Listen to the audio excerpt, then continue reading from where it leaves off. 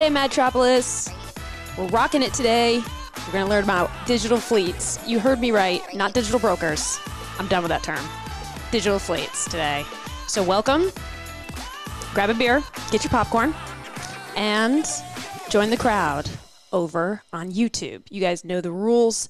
Head on over to YouTube because I know that a lot of people are on LinkedIn, they're on Twitter, they're on Facebook and every other app that I stream on. But really, you want to go over to YouTube, hit that live chat button so you can make friends and chat away in the comments. They're very busy. And then hit the subscribe button so you know when I go live. I have about two years worth of videos on YouTube. Um, and they're they're educational. They're all good videos. So scroll through and educate yourselves, fools.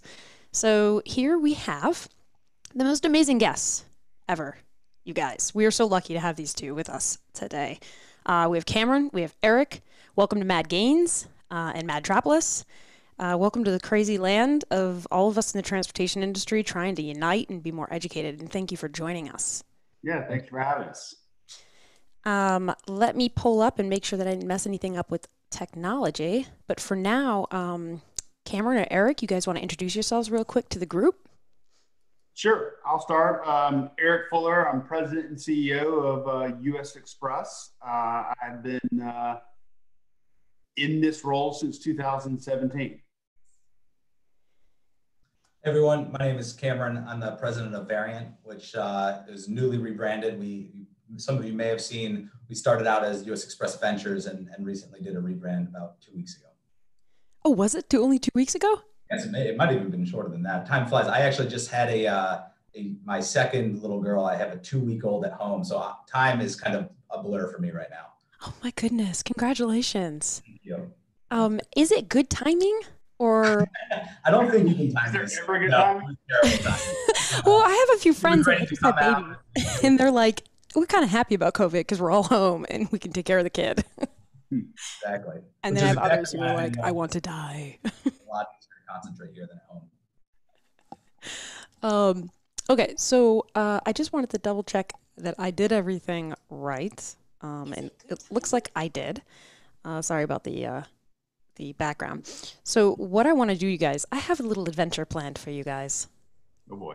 Yes, yes, because I don't want anybody to think that um, that they're going to come on the show and just have an easy breezy time answering very standard questions. So hold on one minute. Let me play my music that some people have PTSD over. And what I did is, uh, people who come on the show, they're getting smarter and smarter. They're watching past shows, but there's one past show that I know a lot of people didn't watch, and it's with Doug Wagner. And it's because it was like three weeks ago, so it's getting buried now, but it's a good show. Poor Doug Wagner came on here, and he thought he was going to come on for 15 minutes, and he was just going to answer a couple questions, similar to what I told you guys, but I lied. Eric's sweating over there, I can see it. so I'm going to play a game called um, Never Have I Ever. It's my favorite game in the whole world. And uh, you have to be honest because I'm a lawyer, so I can tell if you're lying to me, Eric. Um, Cameron would never lie to me. And so here's your first question. I'll let Cameron go first. Good, thank you. I appreciate it. I'll let Cameron go first. Because he's tired from having a baby, so he might make a bad answer, which would be good for all of us. Yeah, All right, Cameron, you have to say I have or I have never to this question. And no thinking either. Okay. Um, have you ever been kicked out of a bar? I have. Oh, you have been kicked out of the bar. Would you like to tell us the story? Uh, I don't think that's part of the game. I think I just have to answer. I have to. Damn it. Are you sure you're not a lawyer? That's part of the rules. I have to go into.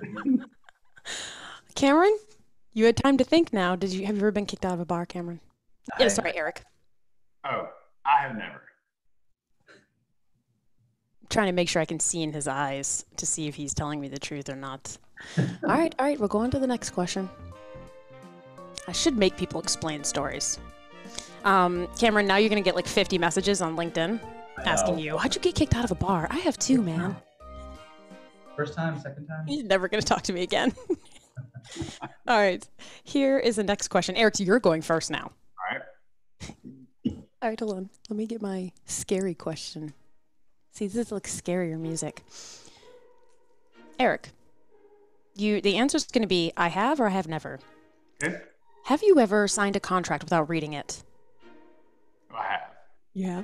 I have. Cameron? Yeah, I'm ashamed to admit that I have. Yes.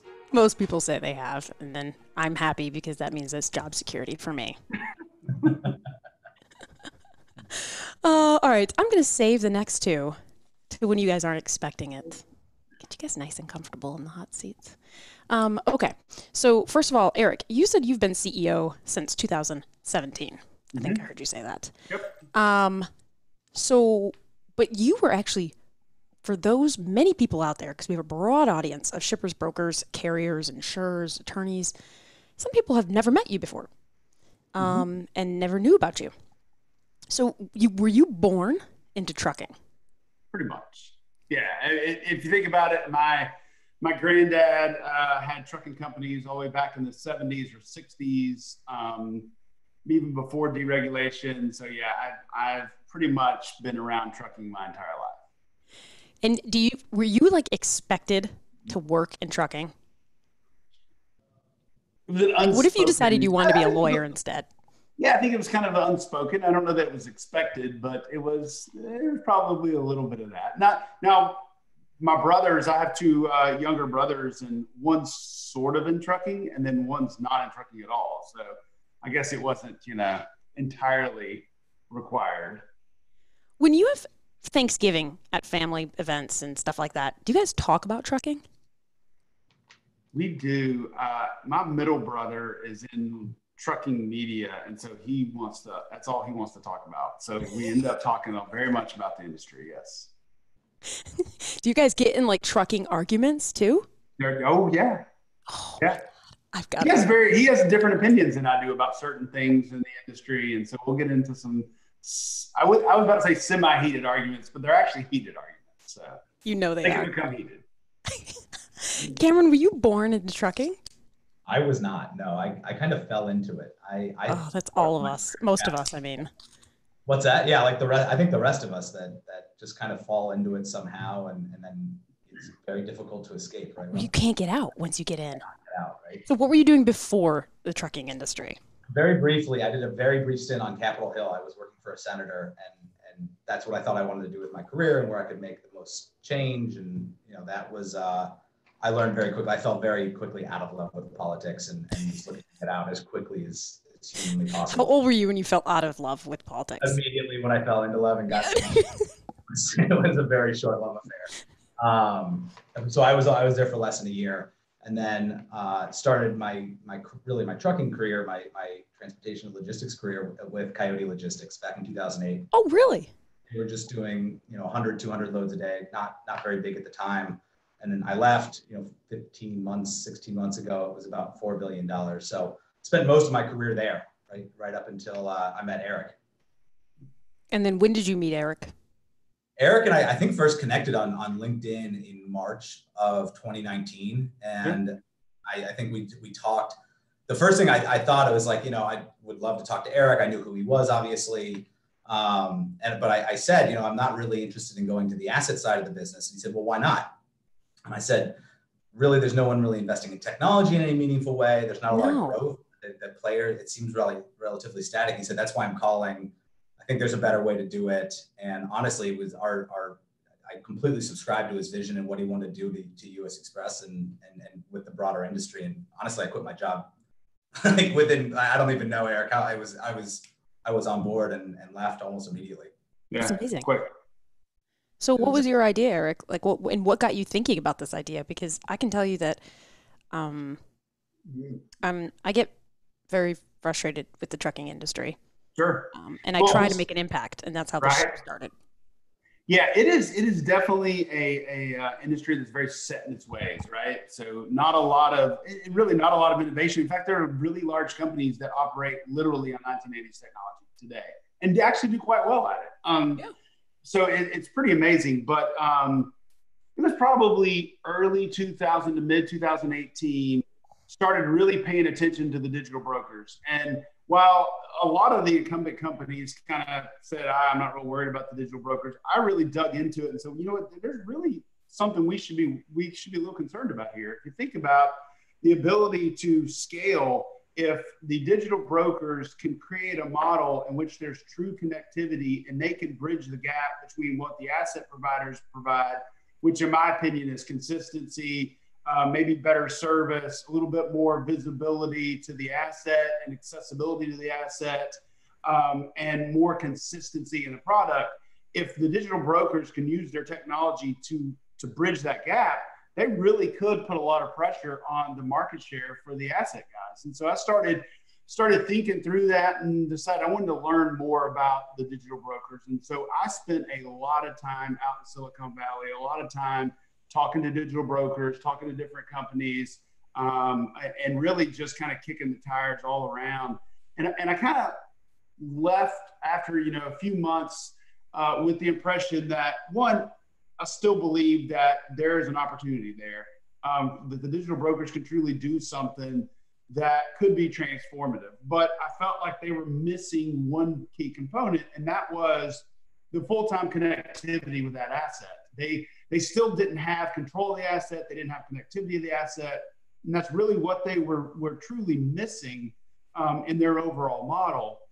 And so, as I was thinking through that, I thought, you know, really, if you think about all this technology and how they're approaching the business, it might be a better fit for asset-based trucking as opposed to uh, to, to brokerage hmm. because they really the, the the key element that the third parties are missing exists in the asset world. And so, I started thinking about that initially, and then um, as we were exploring that, I was I'm a big fan of the Innovator's Dilemma um, I don't know if you're familiar with that book.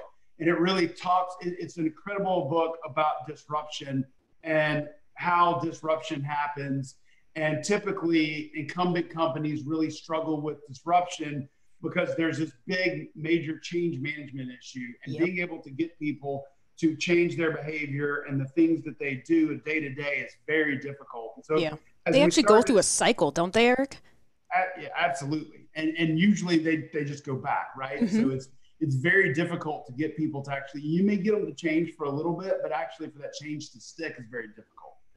Um, and so started thinking through, well, it, we can layer in some of this technology, but it would be incremental and it may not even get the full benefit because of the change management issues and all that. Started thinking, well, maybe we just can reinvent this business model. Maybe we, maybe much like the digital brokers, take the, all of this technology and this approach and come up with a new business model and new approach. And really, if you think about trucking, there's so many inefficiencies and so many problems in it's that unreal. model that it's ripe for disruption. And yeah, it is. I'll give you one story. This was probably five years ago, but it stuck with me. Mm-hmm. I was talking to one of our drivers, and he was telling me this this situation that had happened a few months back, and he was telling me that he it, it was just like this this uh, combination of events, and and it ended up he was stuck in a hotel room for like ten days, and he practically got forgotten. And he was just sitting there, literally in this hotel room with no truck, and the, the company practically forgot him, unfortunately. And so I was talking to him, and I just said, "Why did you stay? Why why would you stay when we screwed up that bad?" And he just said, "It's trucking. Everybody does it. If I go anywhere else." it's the same thing. You just have to realize what you're dealing with, and, and you know you you find a company you're comfortable with.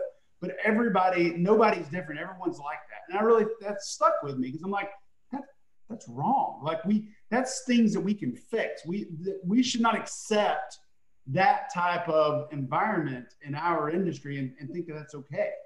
Um, and so that was kind of where a lot of these ideas about hey, can we do something different, and what can we do, and what does it look like? so what did you? Okay, so you went on this exploration of digital freight brokers, whichever, whatever that. Means. What did you find out that meant, by the way?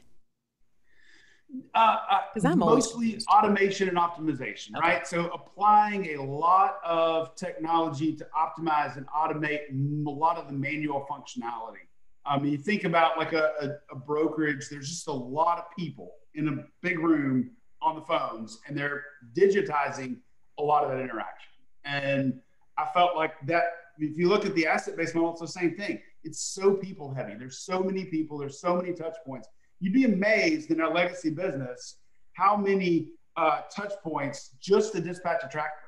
I mean, it takes all of this work by somebody in the office and then the driver doing something in their cab and then somebody else doing something back in the office and the driver doing something just to get a driver to dispatch on an order to go pick up a load. It's it's so inefficient. It is. Uh, we actually talk about that a lot on the show, and we have shippers that watch the show, and they are so frustrated often with um, how behind the trucking industry is, the actual trucking asset companies are with regards to innovation. And it's funny because a lot of us will point the finger right back at the shippers, but I'll leave that for another day because I have shippers on here that uh, now are going to light me up in the comments. um, but I'll tell you that uh, it's talked about a lot here. So, what did it look like when you went home and you're like, all right, um, I'm going to make some changes? Yeah. And you've got a board, you've got people who've been around in your family who've worked with this company forever. I'm going to dramatize this. They're like, look at this whippersnapper coming in here 2017, yep. thinking he's going to change us. They sure. didn't say that probably, but it's the movies in my head. Right. so, how did it go? Well, you know, one of the things in that book that I mentioned earlier, The Innovator's Dilemma, one of the, the big issues is that in order to really disrupt things and really change a, a paradigm and change an industry, you, you have to be comfortable with potentially cannibalizing your existing business. And so that was the first thing that we looked at and said that we we were willing to go far enough from a disruption standpoint that we were willing, if it if that were how it played out, to cannibalize our existing business because we thought this was a better approach. Um, and so one of the things I did with my management team at the time, is before Cameron even came on board, is we got the tire strategy team in a room and we whiteboarded uh, for literally days. And one of the things that I made the entire group go through is list all the paradigms in the trucking asset based business model, all, all the things that are absolute, right? Things that have to happen, you know, whether it's like drivers are paid by the mile, customers are charged by the mile, um, you know, all, all these like these absolutes, these paradigms in the industry one of them uh, that really stuck out with me was you have to have fleet managers. And so I, I, I probed the group and said, why do you have to have fleet managers? And the answer was, well, drivers are lonely on the road and they want someone to talk to. And I'm like, that was the answer? That was the answer. And, and, and I was kind of shocked in that that's really, you know, really sad that we think that a driver who's on the road, who's working for two or three weeks at a time in a truck, that they want to talk to a so-called supervisor back at their their company that that somehow that connection was somehow important. Yeah. And it was a common held belief. It wasn't just by one or two people. And I'll be honest with you, I've heard that for as far back as I, as I can go, is somehow that connection was really important. And um, for those well, of okay. you who are listening to Eric, sorry to interrupt you, Eric, okay. could you put in the comments if you guys have heard this before that a fleet manager is often the biggest role of a fleet manager is to uh, be a connection to the home office and to be comfort on the road for the for the drivers. I'd be curious to see what other people are saying as well. Uh, I always love having those kind of comments. But go ahead, Eric. I'm sorry. Yeah, and uh, and and so I said, well, what if what if we can do something? So the so the issue is the drivers' connectivity, and the drivers still alone in a truck, and they don't feel like they have interaction with anyone. Right. Why don't we create a business model that gives them interaction with their family and their friends and their peers and gives them people they actually want to interact with, give them the time to do so and even the mechanism to do so, and stop trying to give them somebody that we, that unfortunately, they probably don't want to interact with, right? And so it was things like that. And so we started really expanding the thought process as we started breaking down these paradigms. And when we left the room, of the probably 200 paradigms that got put on a piece of paper, we didn't have a justifiable reason for like 180. Like th- there wasn't a good reason. There was a there was a reason, but there wasn't a good reason when wow. you really break it down. And so that's where we started to. That's the kind of the beginning of that. Started thinking through what a business model could look like. Um, and I started kind of scoping something out. And then early 2019, started looking for somebody to run it um, because I decided I wanted it to be separate from US Xpress. I wanted it Smart. to because one of the things also in that book, I keep going back to that book, but it really uh, opened my eyes is that incumbent companies will kill anything that's new that that makes them feel threatened, especially if one of the end games is cannibalization. So I wanted this this business to be incubated outside of our four walls, separately in a completely different city. I didn't want it based in Chattanooga. Um, I wanted it out of our operations, and I didn't want anybody from our business running it. I wanted an outsider running it, and I, in, in a sense, wanted an outsider with the unique viewpoint that wasn't necessarily. I didn't want to go hire a VP of Ops at one of our direct peers because yeah. they probably wouldn't be thinking much different than our people were thinking. Um, this was the group that was arguing with me about those paradigms, right? So I yeah. wanted to bring somebody in and so we started looking in early 2019 to bring somebody in that had fresh ideas that would match what uh, I felt like was needed uh, to build something like this from scratch. And then that's how you became uh, friends with Cameron. And then I was the fifth choice, nowhere near the top of the pile, but somehow I somehow I got the job. Are you in Tennessee, Cameron? No, I'm actually in Atlanta. So the office here is is right on Georgia Tech's campus. It's right across the highway from them, right on Tech Square. Nice. I love Atlanta. Um, yeah, we so, love it. How, so, how did you know where to start with what Eric's vision has become, where we're going so, with this idea? We came in here. It was just it was it was just an idea. They'd done a ton of thinking about. It. I say Eric, I say they, Eric, the management team, um, but there wasn't a lot of kind of meat on the bone quite yet um, we there were a few things right away that for a long time, just as an observer of the asset-based community and, and really a partner to them in, in my last life, that were fundamentally broken about the industry. And that was the fact that driver attrition is 100% a year. Crazy. Providers, right? That in no healthy environment and in mm-hmm. no healthy industry is, are those conditions the case, right? So there's something really broken here. Uh, and the second thing is that the way that the, the fleets are planning and kind of orchestrating themselves is entirely manual. And so this and, and that whole process around kind of planning and deciding what load to take for the truck and what loads do we already have and which truck should we assign to them is really just a very, very complex math problem. And computers are better at math than humans. They always will be. They always have been. They're faster. And so that was really where that made just the most sense kind of logically to start. So we started building the, this kind of first generation optimizer. There was there were remnants of it. There was an optimization engine there. We kind of stripped it down to its bare bones and built it back up again. Um, and that was really where we started. We just said, can we automate the planning process? And it wasn't automation for any other uh, reason besides it should yield a better result for everybody. The driver mm-hmm. should get more miles. We should we should be able to the more miles, that, quite frankly, that we run, that's the way we're paid. It's also how they're paid. It's better for everyone. Mm-hmm. The other thing that we put in there to that, that it became kind of a very early North Star for us was this attrition problem. And it's the number one measure of success for us today is can we have exceptionally low attrition? That is our barometer for, for success. And one of the ways to do it is to make sure that you give your you keep your drivers moving, right? That they get a lot of miles. And so the optimizer solved both these problems. The second reason that we found why drivers were, were attriting was home time. They were missing home times. They were missing life events with their family. And so we made it an immutable law in the optimizer. You are never allowed to miss a home time ever. Get a driver home at all expenses. And that's really all it is. It's way more sophisticated than that, but kind of objectively, the functions are to maximize those revenue miles and guarantee that driver gets home. And it's amazing how how many problems that that solves right out of the gates. And so yeah. we got to work on that. We took it live in August and and yeah, wow. So how has it been going? And what did you build? Did you build everything uh, yourself, or did you use third party? we, we've we've had a, a kind of we take a, a, pretty practical approach to that. Some case when we deem it to be a competitive advantage, we build entirely in house. If it's something that somebody else has already solved and it's not kind of core Makes to our sense. business necessarily, we're fine kind of adopting and, and, integrating different providers. So it's it's it depends is is the right answer.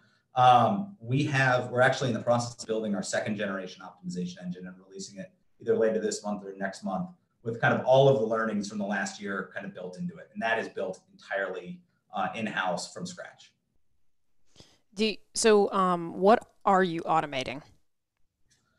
So I, again, it's it's a little less about automating, but I, it, the, from a mission standpoint, it's really just about doing things more effectively and trying to yield a better outcome. Um, we are there's both the there's you know U.S. Xpress is is a big company. We have 1.5, 2 billion dollars worth of freight, a lot of freight to play with. We also at times have network gaps where so from one standpoint, we're automate we're not automating, but we're, we're orchestrating the, the, the planning of the assets with all of that freight in mind. But also when there's very natural kind of uh, network gaps, we're able to go out into the marketplace, the, the 800 billion dollars of other freight, and try to pull in freight to supplement it. And that process, that very iterative process of, of kind of constantly looking at hours of service and looking at the freight we have and what freight is available is all done and orchestrated instantaneously. And it yields for the best outcome for those drivers, right? Guarantees, get some revenue miles, get some home. So the data that's being fed into your company and into this new software um, is hours of service data, I guess GPS locations, um, any anything about maintenance uh, the, yeah, so we U.S. Xpress does a fantastic job of preventative maintenance. It's a very sophisticated. The, the department is, is, is really well done. So we take those as inputs, right? So we have a lot of preventative maintenance. So we we design and plan the fleet around those. And then, um, and then where the drivers live, apparently, or where they what will they call their home base. Yep. Um, and then obviously what shipments they're on. Um, I thought I saw a shipper pop up and say, "Hey, how do you ensure if you're trying to get them home all the time? How do you ensure that they how do you eliminate the empty miles?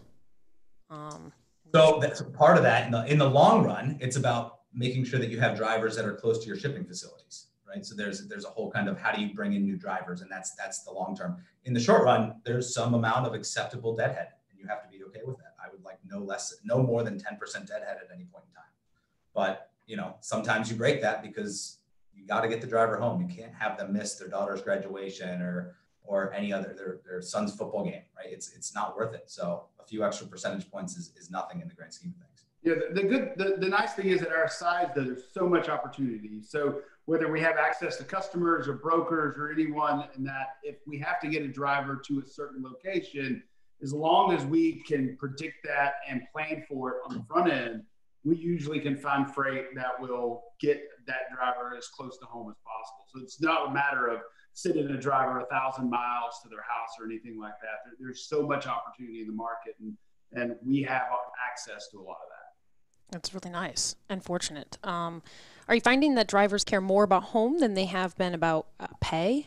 Um, it's not really either or, right? Okay. It's not binary. It's it's it's it's yes. You need both of those things, right? And the and the third piece of it is about support. And so we talked about the the, the fleet manager earlier um, I, I, couldn't agree more with what Eric said. Is it, but the whole idea of supporting drivers is important, and so we we wanted to to create a community where drivers could interact with each other. They could interact with what we call the ops team. So drivers have an ops team rather than a fleet manager, right? And the difference is really a level of empowerment. So when they call in, any problem they have, the person that they are talking to, they can solve the problem immediately right there.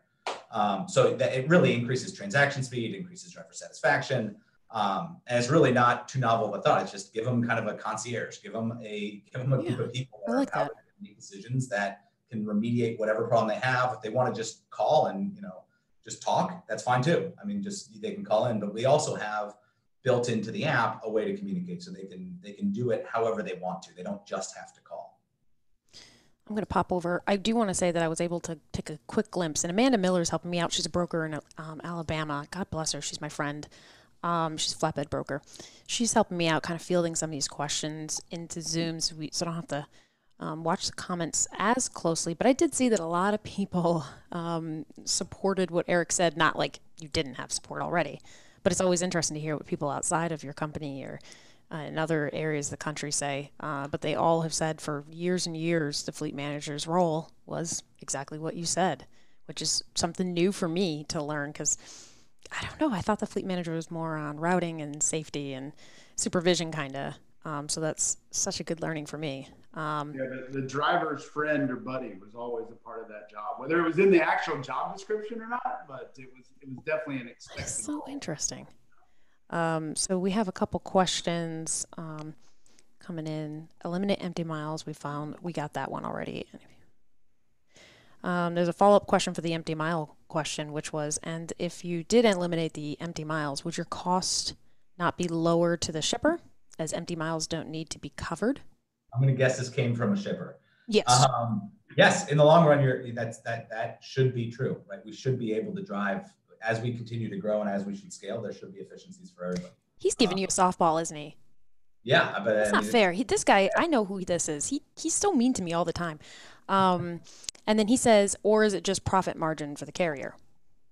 Well, we could use some of that, but um, honestly, this isn't you know an exercise in profiteering, right? We're a publicly traded company, so there's no hiding. Um, Yeah. So you can you can certainly look up our profit at any point in time historically and, and, and now. But at the end of the day, this should create good for everybody involved. It should be good for the driver, it should be good for us, and it should be good for the shipper. But you know, we are we are 15 months into this mission, and we have a long long way to go. Yeah, I think the, the best way to look at it is that we're spending a lot of money in infrastructure on the front end. There's a lot of investments, but as this thing scales, that's where you get that efficiency. And as it scales to 2,000, we're sitting right below 500 trucks today. But if you're when you scale to two, three, 4,000 trucks, it's much like the the digital broker argument too. Once you get to a certain size, you have a fairly low operating cost versus the normal uh, you know, manual operating costs. So as you get size and scale, then that's where you get your cost of efficiency. And so that's where we think there's real opportunity. And as we talk out probably, you know, two years from now, three years from now, we'll be discussing, do we, do we scale, do we grow, or do, you know, are we, do we get to a certain level and we're happy with, with being at that level and that profit level, or do you get a little more aggressive in the market and try to scale and get market share? And, you know, those are things that, uh, you know, we'll determine down the road. So let's throw another coal on the fire. Um, again, remember that I'm like just a, I'm just a lawyer that likes to pretend she's a truck driver sometimes. But, um, but uh, so how can, how do you, how are you, Cameron, building in the biggest, fr- one of the biggest frustrations in our industry, which is detention time? It's not, I guess, w- waiting time. I should say waiting time has been the first frustration. Is how often they're left waiting for four hours um, in certain locations uh, to load and unload. Um, and then pay is a whole nother situation. But I would love to know if you guys are working on that or if that's in the pipeline. And, and what you're seeing too would be interesting since I'm kind of. Yeah, I'll take a stab at this. I know Eric could talk, probably write a book on, on the topic of dwell. Um, we measure every instance of dwell. There's a few types of dwell, right? You have dwell between appointment times, you have dwell between loads, you have dwell after you're done with your hours of service break before you get your next one. Uh, so there's there's a lot of types of dwell. We measure it at an exceptionally granular level and, and constantly are looking at the network to try to engineer that waste out. Um, and that goes from everything from kind of optimizing your appointment times to just trying to plan better, just trying to make sure that you're you're putting the best uh, truck on your loads at any given point in time, and, and vice versa. Right. One of the one of the benefits to, to planning in this way is that we know the exact on the driver's four hours of service blocks. We know exactly when they're going to become available, and we know the best truck, the best load to assign to that truck. Right. So we can just by virtue of having this all in a single system that is 90 plus percent automated from a planning perspective, we measure every bit of it or constantly trying to, to reduce it. I bet. I bet you get some really good data too. Um, how is it Oh, going? lot and yeah, how's it? How's it? Have you had any success stories with showing a shipper? Like, hey, here, here's all your wait times at your facilities. Like, we can. No, it's it's interesting. So we we're actually on Monday we're releasing um, some functionality that will give us even better insights for our shippers. Uh, we're we're calling it Yelp for facilities. Um, this is Yes, yes, I like that. not an entirely new concept, but uh, Right. certainly applied in a very new way.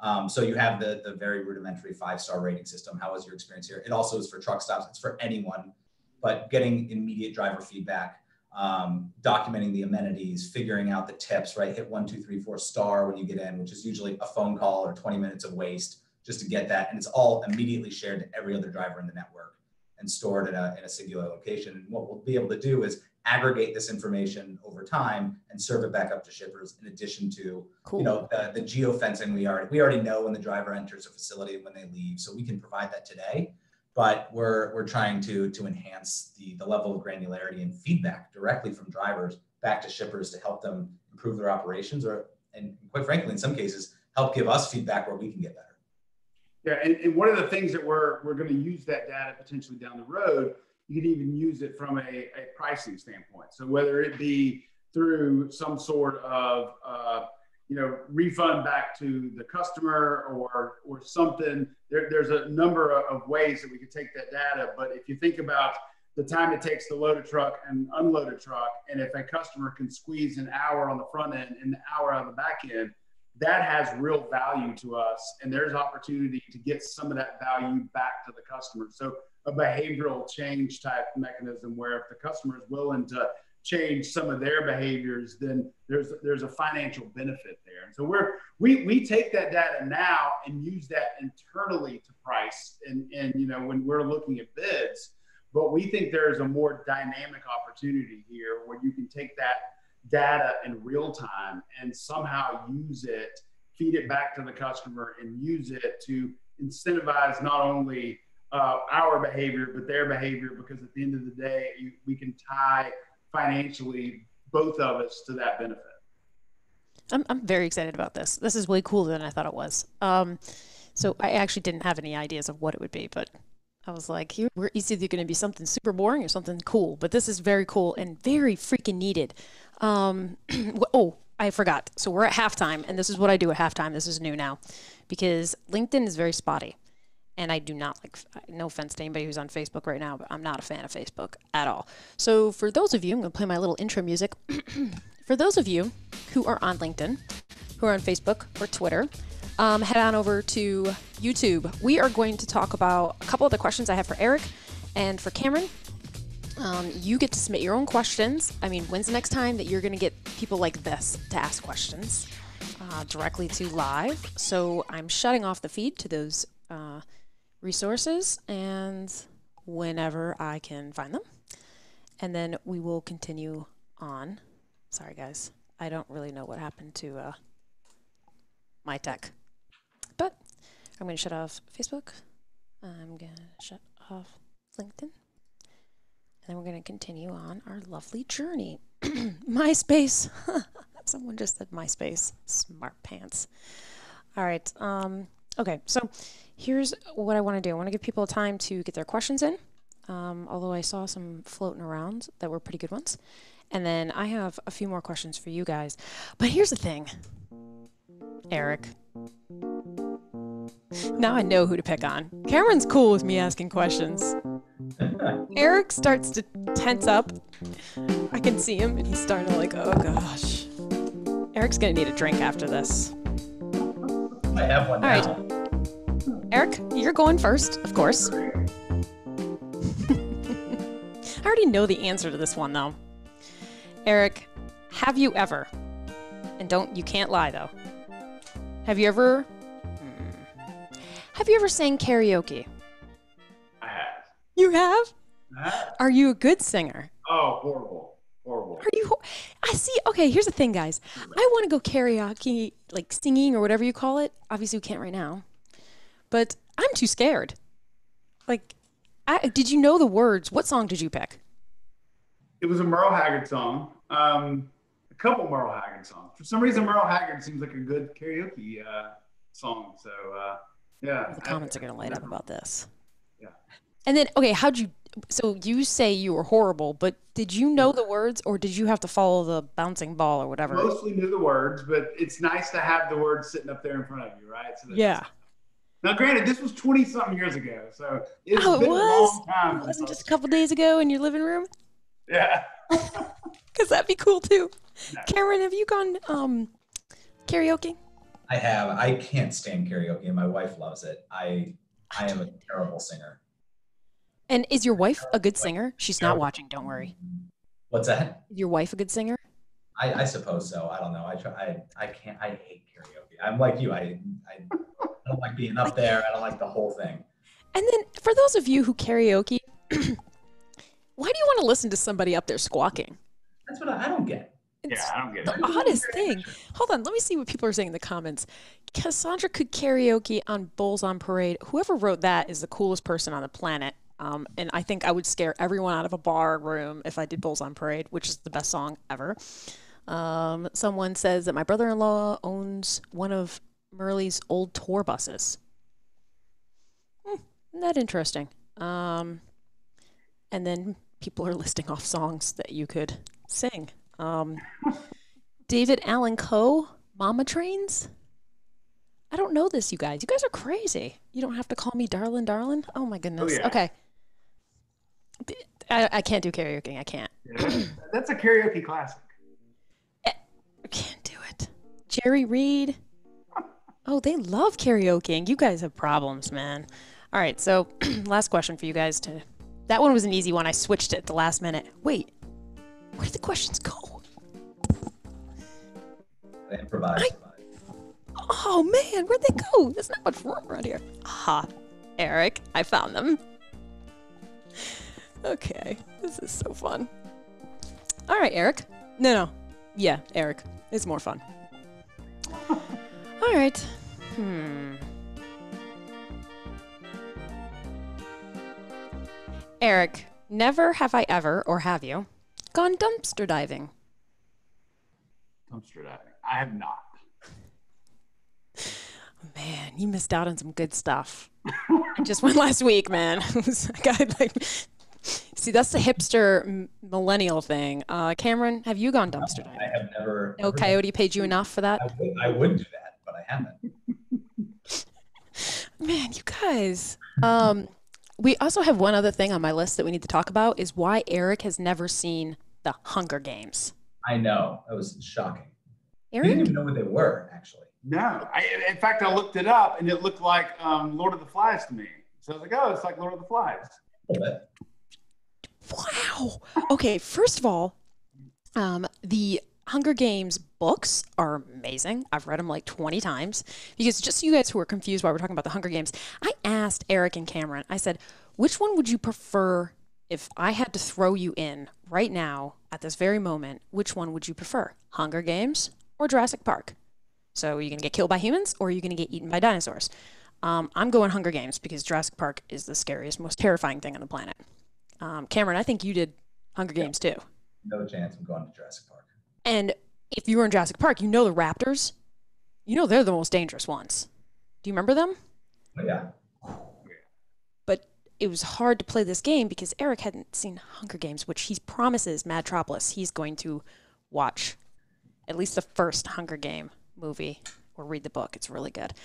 Okay, so a dying question that I have, a burning question I have for you guys, not dying, burning, is when is this technology going to be available to the rest of us?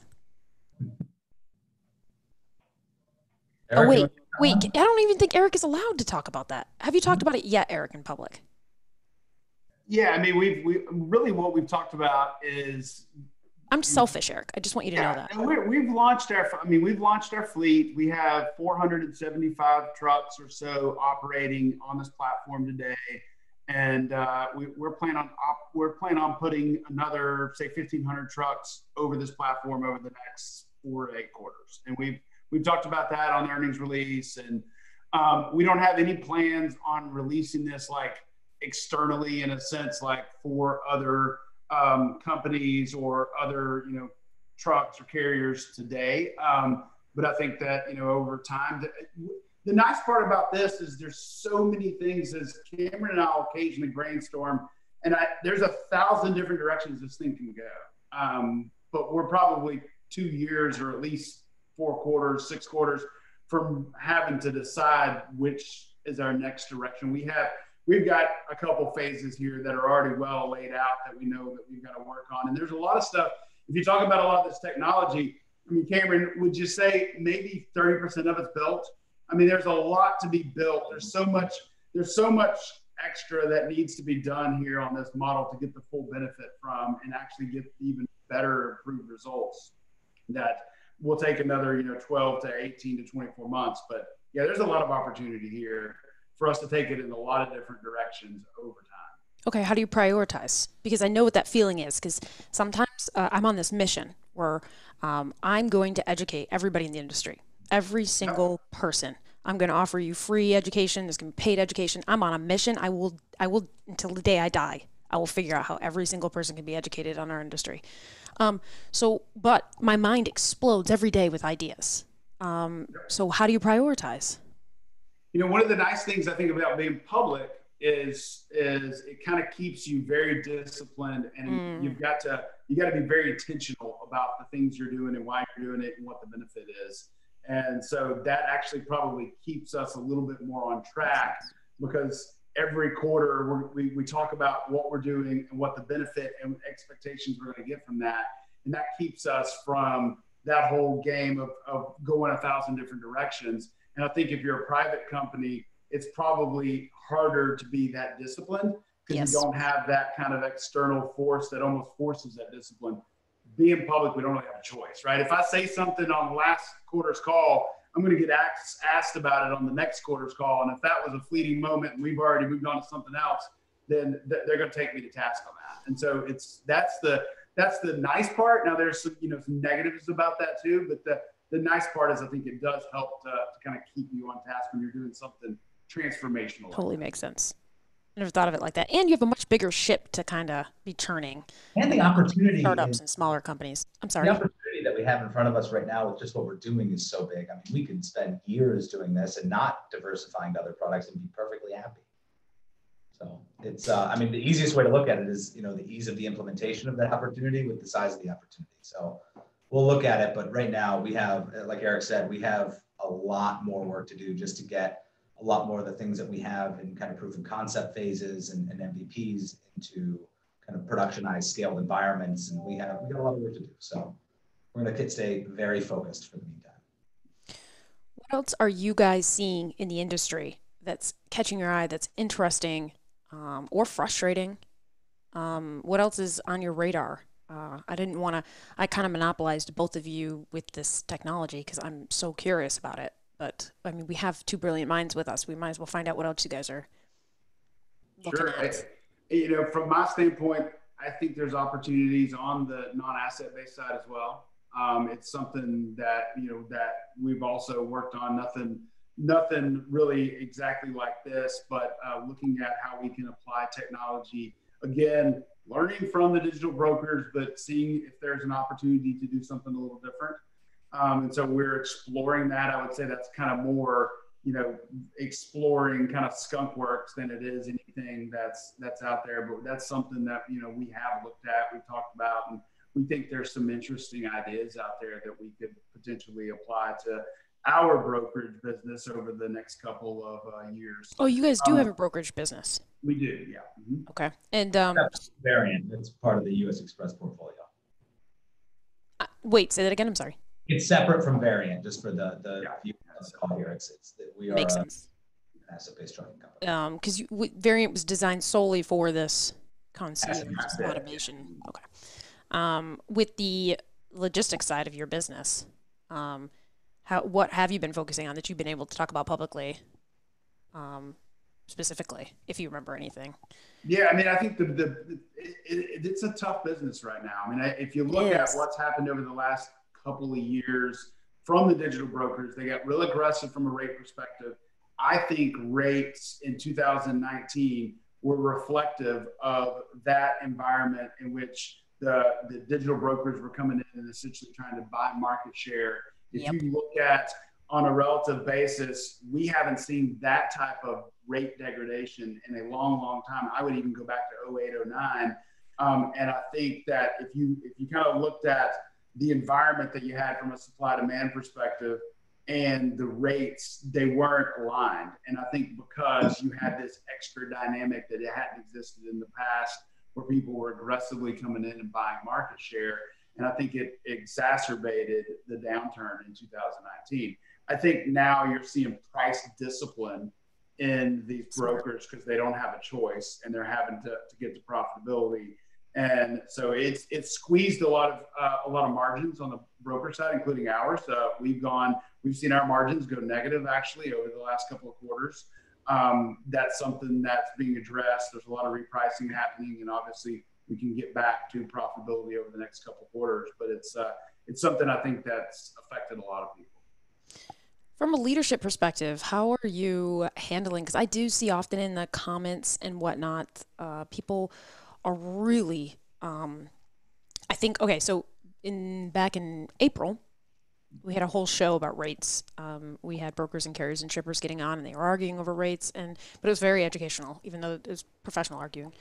But it was educational and um, and enlightening. And obviously, one of the biggest things that came out was you just need to continue to build your relationships with each other. Shippers, brokers, and carriers all need to build their relationships. So then we turn around this corner and we're back in a new rate situation where the carriers have the power. And I'm hearing constantly that they have, especially the smaller carriers, have forgotten their relationships. And I think that's what the logistics professionals right now are just ripping their hair out about.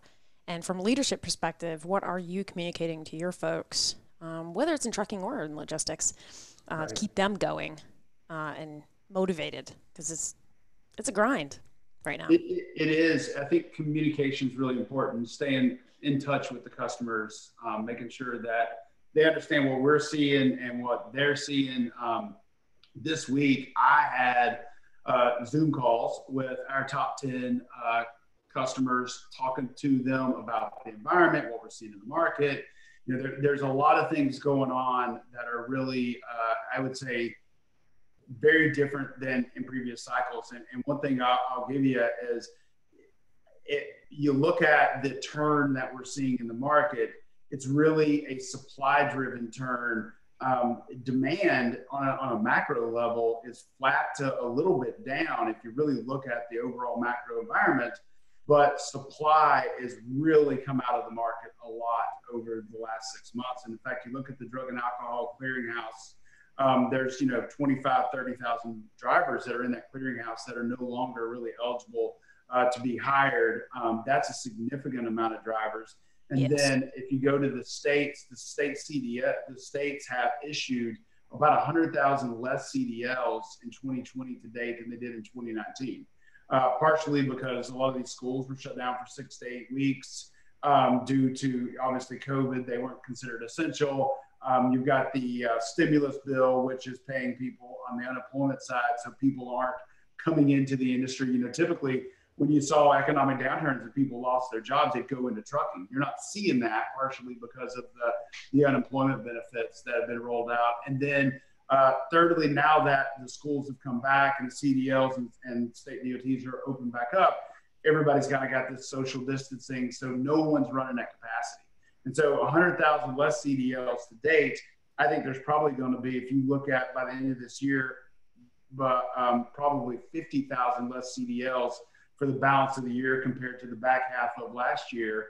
Um, and then throw another, say, 20 some odd thousand drivers into the drug and alcohol clearinghouse. There's a possibility we may be down 200 to 225,000 drivers just from entering 2020 to exiting 2020. that is a seismic amount mm-hmm. of capacity coming out of the market. If you think about 18 to 19, there was about a, a you know, everyone talked about supply getting built back into the market. There was about 40,000 extra trucks or drivers that came into the market that created that big gap between 18 and 19. And now we're talking about 200 to 225,000. Um, I, I think that's a story that could that could be around for quite a while. Do you think, as an industry, that um, those of us who are in it, do you think we're a little bit addicted to the volatility? Oh, for sure. Oh, for sure. It's so erratic. It's not. There, there's nothing stable. I mean, it's just in a sense. I mean, it's it, and almost on a day-to-day basis. I mean, mm-hmm. you, in, in, our business, we can almost model it on an hour-to-hour basis. I mean, it's wild, but uh, yeah, there is. It, it's it's definitely that instability. I think attracts a certain type of person. I think it does too. I think I mean I think I'm one of them as well. But it's I'm also constantly searching for stability in this industry, but I still want change and improvement. Um, mm-hmm. But it's the stability I think in rates and and volume will never really truly be achievable. But at least in rates, this is like the most we've ever seen these changes over the last six months. It's terrifying in a way. Um, but I think it also uh, the strongest will probably come up uh, and prevail the most. Uh, the couple questions that were popping up um, for you guys. So one question was, what's the um, main feedback? The number one thing you're letting your shippers know that they need to improve with their facilities. The thing that you're constantly having conversations about, if any. Yeah, obviously wait times, um, both on the load and unload, are, are incredibly important. But I, the biggest thing is taking care of the drivers. I mean, we're we're in yeah. with with the driver situation like it is, and I can tell you it's only going to get worse. um, we as a company are going to prioritize those shippers that provide bathrooms, provide rest areas, provide places for drivers maybe to get something to eat or drink. And those customers, and you're seeing less and less of that, but you've had customers that don't allow drivers to use the restroom and don't right. allow drivers on their that get out of the truck or on their property we are taking that into account when we're doing bids. And if there's a customer that we that we start to see, like through Cameron's information, the drivers are saying this is a difficult shipper. I don't like it. They don't treat me well. They don't provide these things. We may just not bid on that business, or we may price it, you know, for you know for whatever reason in a different manner. But it's uh, that stuff's going to drive a lot of driver satisfaction is really important and it's really important that the customers play a role in that. I absolutely love that answer. I think everybody else is going to love that answer. Um, I, I we had maybe three weeks ago we had an episode where one of our famous shippers, uh, Ron Kane, who we call the Freight Godfather, he was on with a couple other carriers and brokers, and we were talking about why the facilities are so difficult for drivers. And um, and you know, Ron's theory has always been, I want I want my at my facilities, I want drivers to want to be there. I want them to be happy. So then I get the best drivers, I get the best carriers. And so he took the opposite role. But there are other concerns, and you guys don't have to deal with this, which is uh, the majority of carriers do not have workers' comp insurance. So they don't, shippers don't want them. They, they want them, but the risk is too high to have these carriers on their property too long. And I thought that was pretty interesting, a little bit irrelevant to your world, yeah. uh, both of your worlds, but in a way, I thought that was interesting because it's quite accurate. Um, I have another question. Some people were curious why you decided to make Variant a separate entity. I missed that completely because legally it makes sense to me. I like that. Well, so for us, again, it was it was that change management piece, right? We could layer in this technology, but we really felt like that doing something different and, and being able to start from scratch was, was a big part of it. And then from a branding perspective, you know, we've been around for 35 plus years and there's a lot of reputational issues from a driver perspective that that you get both both positive and mm-hmm. negative and um, and so there if you go out and polled 100 drivers you would find a fair amount of drivers that said i will never work for US Xpress maybe they worked there in the past maybe they had a friend or family member, but there's always that reputational problem that any company that's been around for a long time is going to have. And we thought because this was so new and so groundbreaking, we thought that it really prioritized the drivers and and their uh, you know their satisfaction that we wanted a fresh start from a reputation standpoint, and we wanted to present this new brand as something completely new and fresh, and hope that the drivers would give us that opportunity to introduce it and get comfortable with it before they came up with their opinion on how they viewed it. Makes sense. I like that. And so uh, I forgot to ask this part because I was making assumptions. Is Variant uh, is Variant a completely uh, separate entity or is it a subsidiary? No, it's a subsidiary. Okay. Uh, I forgot to ask that, but I didn't think anybody would be interested. And then they pinged me with the question. I'm like, they're so curious. Um, so here's a um, question that I would be curious if you guys had a, a position on or, or thoughts on how many drivers won't retire due to the financial hit in the first quarter. I never really, I never had a chance to think about it. Yeah, yeah. I had, I would have no idea to ask. I mean, no way Either. to know. And I think that uh, something we should yeah. chew on for a while as Madtropolis. Right? We should start thinking about that. I mean, you could say that for the entire country, by the way. Good. Because so for millennials, we often are saying, um, you know, first we were hit with the uh, recession in 2008. Now we've got COVID. And I mean, I have a lot of friends that are like, I'm not going to be able to retire in this country because um, I just recovered from the recession. I felt like I was just getting back my feet up, back on the ground. So it is to broaden that question. It is kind of interesting to think about, but uh, uh, I'll also tell you that um, it was another interesting point with carriers when they came on the show. Uh, for days, we tried to figure out what does it cost to run a load for like an owner operator, and there were so many drivers that didn't know the costs. Oh, so yeah. that's a big question. I think that has a lot of factors that go into it. Yeah, I think there's even carriers with 20, 30, 40, 50, maybe even a lot more trucks that honestly don't know that answer either. Mm-hmm. and let's expand on that. I think there are brokers too, because as a brokerage, it's kind of hard to know where you stand because you you're laughing. You know what I'm talking about because there's money coming in and going so much, and so it's hard to know exactly where you stand. Um, I had a client once that I think it was like a hundred, two hundred million dollar brokerage, and when we actually sat down and went through their receivables and their finances, they were they were dead broke, dead broke, um, and they had no idea. Uh, so. Um, I, I, like pontificating and all these. Yeah, I think that cost thing was probably the most eye-opening for Cameron when he came in the door. Is that having that opinion? You know, your what you believe cost is in a broker versus cost from an asset carrier are not always comparable, and in fact, in a lot of cases, they're not. And I think that was probably right, Cameron. I want to speak for you, but I think that was significantly more complex P and L uh, for a number of reasons. There are things that you think are fixed that are actually variable, and it's. Uh, it's it actually in some regards it's a much simpler equation. In other regards, it's it's far more. It's yes. Just getting your arms wrapped around it is a little bit more difficult. So I went from working at Echo to Schneider, and boy, was that a just mind blowing education. Um, and at as a broker, you often are the insurance company and the bank and uh, the sourcer of carriers, but you're all these roles. And I always thought like, oh God, it's a lot to run a brokerage because you have to fill these shoes. I got an asset, and I was like, wow. And the I'm not even going to go uh, the direction of liability, insurance, and being sued all the time is a whole nother game plan, a, a whole nother story. Um, and for those of you who are interested in that, uh, I interviewed a very famous lawyer, Joe Fried, um, and you can find that video on YouTube. It will blow your mind if you want to know more about the accident world for trucking companies. Uh, in fact, Eric, I know a bunch of the uh, of your um, uh, of folks that are in your um, risk department mm-hmm. that are handling claims. They're dynamite. Oof, dynamite. Okay, um, I want to keep asking you guys questions, but I need to not be selfish. Um, and I want to thank you both for joining us.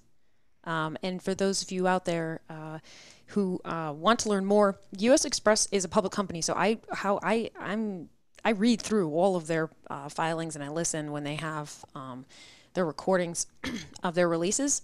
You can learn so much about a company, and that's how I learned about what Eric's been up to. And I'm constantly looking for people who are changing our industry. Um, so both of you, thank you so much for coming on this wild, crazy show. And um, Eric, watch Hunger Games and sing a song in your living room because I think you need to bring back that karaoke guy and sing and and live live life. And he's probably like, I'm never talking to this crazy lady ever again. Cameron, I know you're with us. you're cool with us. You're like, I'm tired. I have a new baby. Thank you for having us. I really appreciate yeah, appreciate it. Thank you very much. And I will see you guys next Wednesday.